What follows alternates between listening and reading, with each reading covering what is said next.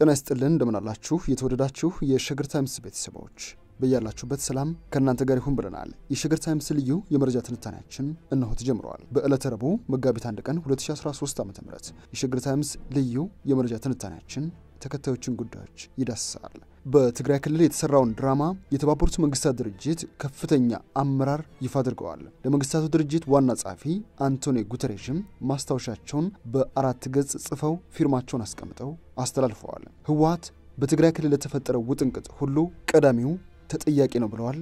እኚሁ ጉምቱ የዓለም አቀፍ ተቋም መሪ የሆኑት ሰው በትግራይ ክልል የተሰራውን ድራማ ባልተለመደ መልኩ ከሰሞኑ ህወሓትን ተጠያቂ ያደረጉት የዓለም አቀፍ ግዙፍ ተቋም መሪ ማን ናቸው?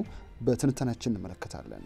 ከዚህ ባለፈ የኢትዮጵያ ሰብአዊ መብቶች ኮሚሽነር ዶክተር ዳንኤል በቀለ የኤርትራ ሰራዊት በትግራይ ክልል ጥቃት ስለመፈጸሙ የሚያሳዩ የመረጃ ፍንጮችን አግኝተናል ሲሉ መናገራቸውንም እንዳስሳለን። ዶክተር ዳንኤል በቀለ ከኢትዮጵያ መንግስት የተለየ መረጃ ጥናት ያገኙበት የት አካባቢ ነው?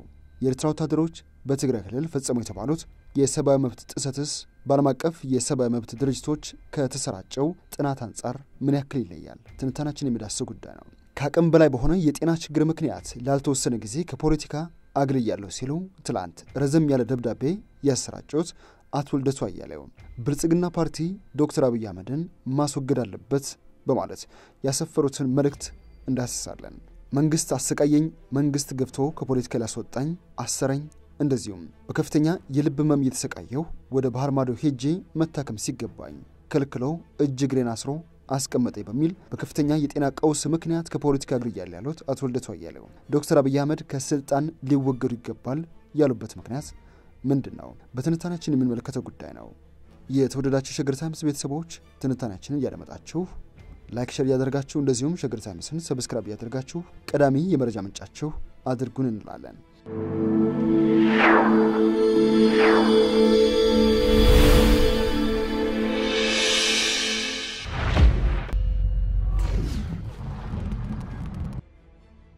ወደ ትንታኔያችን ስናመራ ሀቁ ተዘርግፈዋል። በትግራይ የተሰራውን ድብቅና ያልተነገረለት ሴራ ግዙፍና ዓለም አቀፍ ተቋም የሚመሩት የባህር ማዶ ሰው ይፋ አድርገዋል። ከጦርነት ማግስት ባለችው ትግራይ ክልል አያሌ መረጃዎች እየወጡ ይገኛል። ሰፊ የሰብአዊ መብት ጥሰቶች፣ አስገድዶ መድፈር፣ ጅምላ ግድያዎች፣ የንብረት ውድመትና ሌሎችም ሌሎችም ይገኙበታል። የኢትዮጵያ ሀገር መከላከያ ሰራዊት ድንበር ለቆ ሲወጣ የኤርትራ ወታደሮች በክልሉ ሰፊ የሰብአዊ መብት ጥሰት እንደፈጸሙ የሚከሱ መረጃዎች ናቸው እየወጡ የሚገኙት። ዓለም አቀፍ ተቋማትና ሀገራትም ጭምር ከዚህ ቀደም ይዘዋቸው የወጡ የነበሩ መረጃዎች እንደሚያሳዩት በፌዴራል መንግስትና በመከላከያ ሰራዊት ላይ እንደዚሁም በኤርትራ መንግስትና በአማራ ክልል የጸጥታ ኃይል ያነጣጠሩ ውንጀላዎችም ነበሩ። የህወሀት መሪዎች በክልሉ ይገኙ በነበረው የሰሜን እዝ ላይ ጥቃት በመፈጸም ትግራይን ሀገር ወደ ማድረግ እርምጃው ለመሸጋገር እንዳለሙ ቢገልጹም ዓለም አቀፍ የሰብአዊ መብት ተሟጋች ድርጅቶችና የመረጃ ተቋማት ግን ኃጢአቱን በሙሉ ወደ ፌዴራል መንግስትና ወደ መከላከያ ሰራዊት በማዞር ህወሀትን ነጻ ሲያወጡ ታይቶ ነበር። በማይካድራና በሁመራ ከተሞች የተፈጸሙ በሺዎች የሚቆጠሩ የጅምላ ግድያዎች ጆሮ ዳባ ተብለው እስካሁን ድረስ ያልተረጋገጠው የአክሱም ከተማ ንጹሐን ክርስቲያኖች ተገድለዋል የሚለው መረጃ ጎልቶ እንዲታይ በእጅጉ ተሰርቶበታል። ነገር ግን ትላንት ፎሬን ፖሊሲ ይዞት በወጣው መረጃ መሰረት የተባበሩት መንግስታት ድርጅት የልማት ፕሮግራም ዳይሬክተር ህወሀት አሁን በትግራይ ክልል ለተፈጠረው ቀውስ ዋነኛ ተጠያቂ እንደሆነ የሚያረጋግጥ ማስታወሻ ጽፈዋል። አሺም ስቲነር የተባሉት የምግብ ፕሮግራም ዳይሬክተር ህወሀት የፌዴራል መንግስት ወደ ጦርነት እንዲገባ እጁን ጠምዝዞታል ባይ ናቸው። በሀገሪቱ ህግ እጅግ ከፍተኛ ወንጀል የሆነው ድርጊት የፈጸመው ህወሀት በትግራይ የነበረውን የሰሜን እዝ በማጥቃት ኢትዮጵያ ለውጭ ጠላት ታሳቢ አድርጋ የሸመተቻቸውንና ያካበተቻቸውን የጦር መሳሪያዎችም በመዝረፍም ጭምር የአብይ አህመድ መንግስት የተሰጠውን የሀገር ሉዓላዊነትና የህዝብ ደህንነት የመጠበቅ እርምጃ በተግባር እንዲያውል አስገድዶታል። ይህ ደግሞ ዓለም ሊያውቀው የሚገባ እየተደበቀና በሚገባም ያልተነገረለት እውነታ ነው በማለት ገልጸውታል። ዳይሬክተሩ ለመንግስታቱ ድርጅት ዋና ጸሐፊ አንቶኒ ጉተሬሽ በጻፉት ማስታወሻ እንደገለጹት ከሆነ ህወሀት ለፈጸመው ትንኮሳ ትልቁን ኃላፊነት መውሰድ ያለበት እሱ ነው ያሉት ሲሆን ላለፉት ሁለት ዓመታት ተኩል የፌዴራል መንግስቱን የሽግግር ሂደት እንቅፋት ከመሆን አልፈው እንደ ሌላ ሀገር ራሳቸውን በመቁጠር የአብይ አህመድን መንግስት ሲፈታተኑ ነበርም ብለዋል። የግንባሩ አመራሮች ይህ ሳይበቃቸው ትግራይ ውስጥ የሚገኘውን የሀገሪቱን ሰራዊት በማጥቃትና በመዝረፍ የፈጸሙት ትንኮሳ ጉዳዩ ወደ ጦርነት እንዲያመራና በመቶ ሺዎች የሚቆጠሩ ሰዎች ቀያቸውን ለቀው እንዲፈናቀሉ ምክንያት በመሆን ቁጥር አንድ ተጠያቂው እሱ ነው ብለዋል። የኢትዮጵያ መንግስት ተጠያቂ ነው ከተባለም በኤርትራ ኃይሎች መደገፉ ብቻ ነው ብለዋል አሺም ስቴነር። የአማራ ሚሊሻና የአማራ ልዩ ኃይል በህግ ማስከበሩ ዘመቻ በመሳተፉም የኢትዮጵያ መንግስት ለምን ተብሎ ሊጠየቅበት የሚችል ጉዳይ ነው ብለዋል። የመንግስታቱ ድርጅት ዋና ጸሐፊ አንቶኒ ጉተሬሽ ሊረዱት የሚገባው ዓለም አቀፍ መገናኛ ብዙሃንና ተቋማት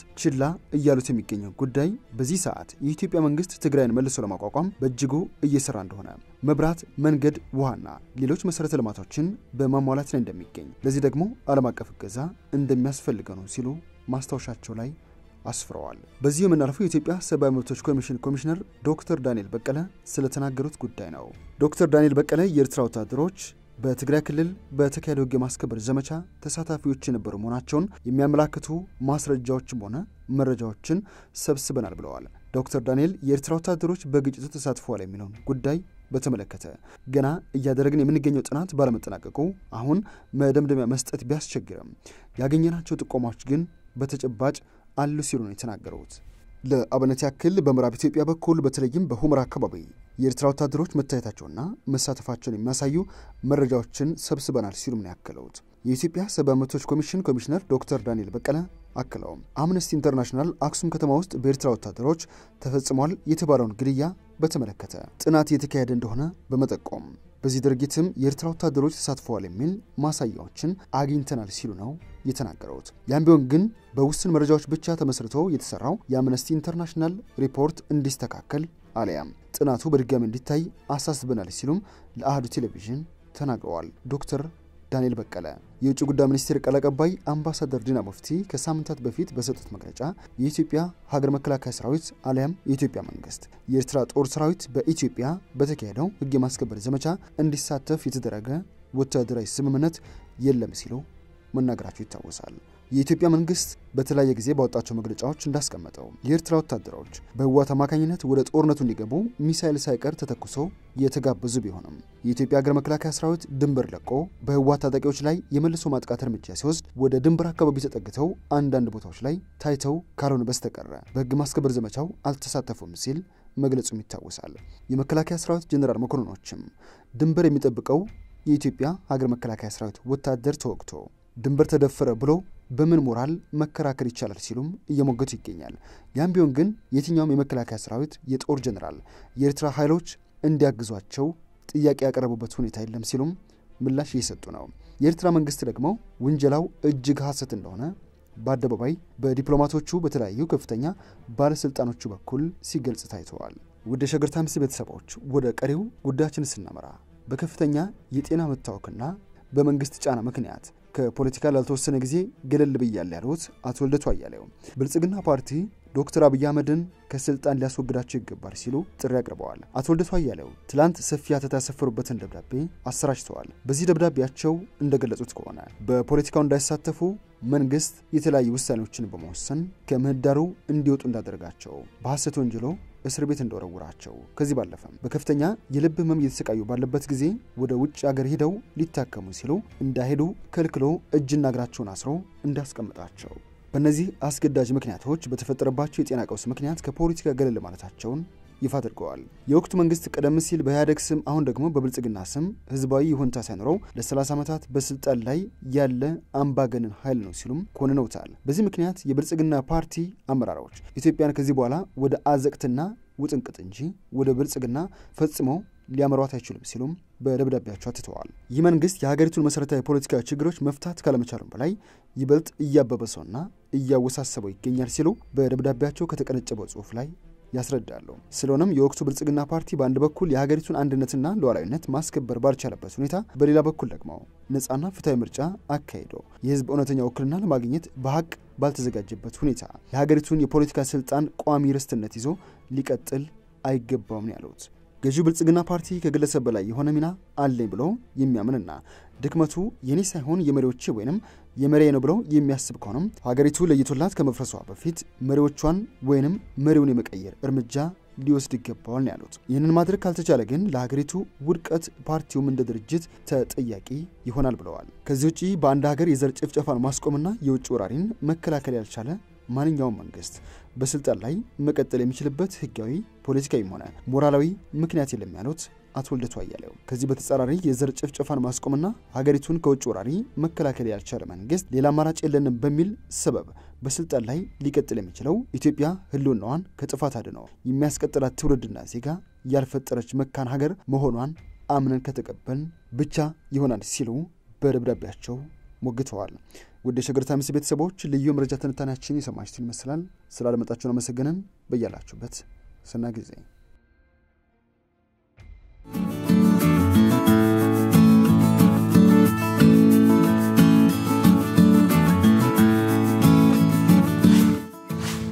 ሸገር ታይምስ ሚዲያን ሰብስክራይብ በማድረግና ደወሉን በመጫን ይከተሉን።